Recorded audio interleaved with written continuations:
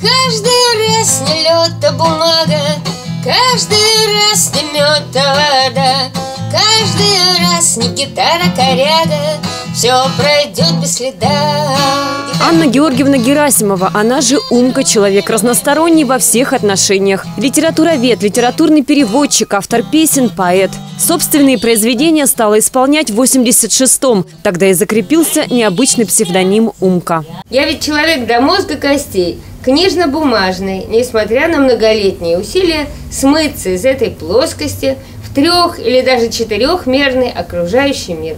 Так пишет про себя Анна в своем издании. Филология и музыка всегда шли рядом в ее жизни. Защитила диссертацию, занималась переводами, писала песни, выпускала альбомы, много гастролировала. В жизни имеет необычный ориентир. Делают жизнь с кого, да? Кто-то с Дзержинского, кто-то с Маяковского. Я делаю жизнь, знаете, с кого? С Буратино. Буратино – это мой герой на все времена. Буратино никогда не унывает, все понимает, но никому этого не показывает, говорит Анна. Он вдохновил ее на многие стихотворные произведения. Говорит Буратино Мальвине, давай жениться.